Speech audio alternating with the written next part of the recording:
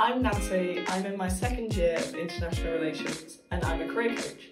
In this video, I'm going to talk you through our digital tool, Graduates First. Graduates First is a digital tool specifically designed to help you prepare and practice online tests commonly used in recruitment processes.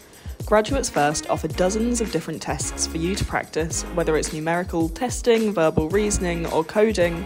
It has lots of different tests to choose from. If you haven't already signed up for Graduates First, simply click on the Register option. During registration, provide your name, student email address, and create a password for easy access.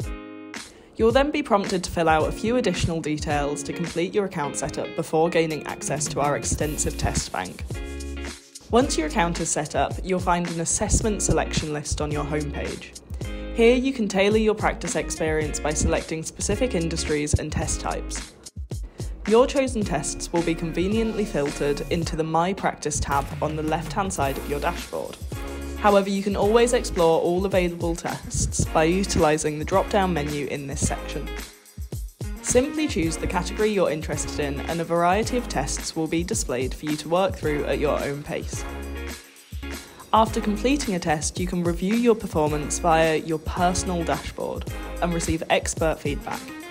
This feedback allows you to track your progress and fine tune your skills before facing the real assessments.